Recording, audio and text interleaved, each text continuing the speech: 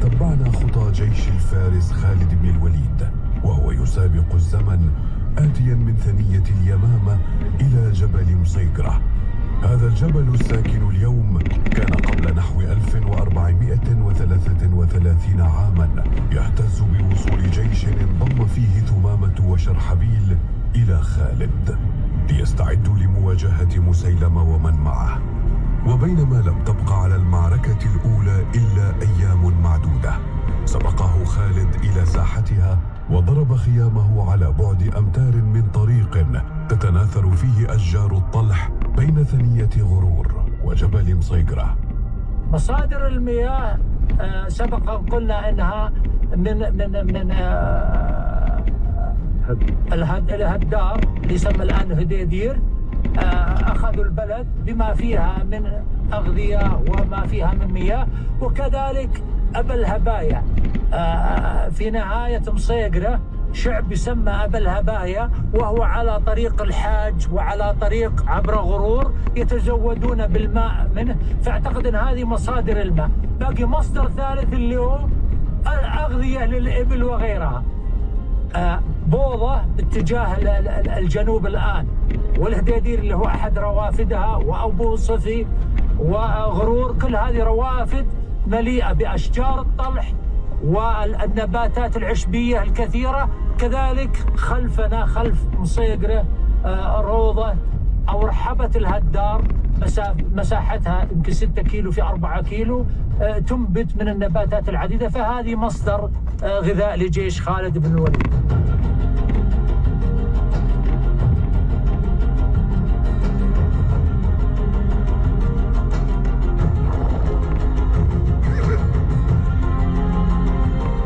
الآن هذا الفسطاط ضرب هنا في هذه اللوذة. أو هذا المنحنى وأي قائد عسكري حتى في الوقت الحاضر سوف يتخذه مخيما ويشرف على اليمامة. هذه أباط هناك وقعت أولى المعارك.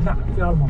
لكن بعد المعركة في هجوم البني حنيفة غشوا المسلمين حتى دخلوا فسطاط خالد. نعم. وكادوا يقتلوا أم تميم. أم تميم اللي هي زوجة خالد بن الوليد. لكن من الذي دافع عنها؟ مجاعة نعم قال إنها أحسنت إساري ف- فدافع عنها الدفاع لكنه وصلوا مرة من وصل- المرات وصل. بني حنيفة إلى الفسطاط وقطعوا حبال الفسطاط هي خيمة الشعر الكبير وضاقت عليهم في أباض البوارق يعني نعم.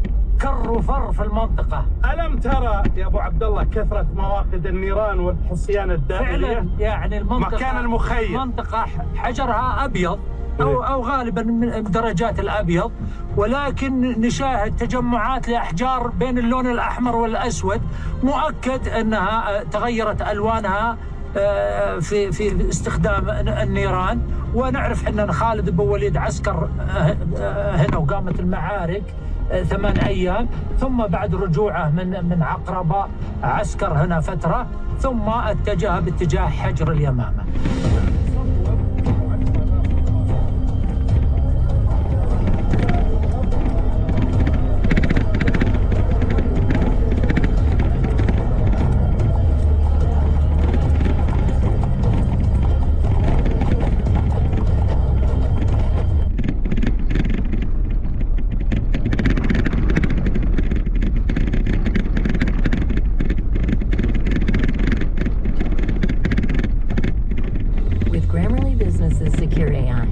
playful prompts and suggestions.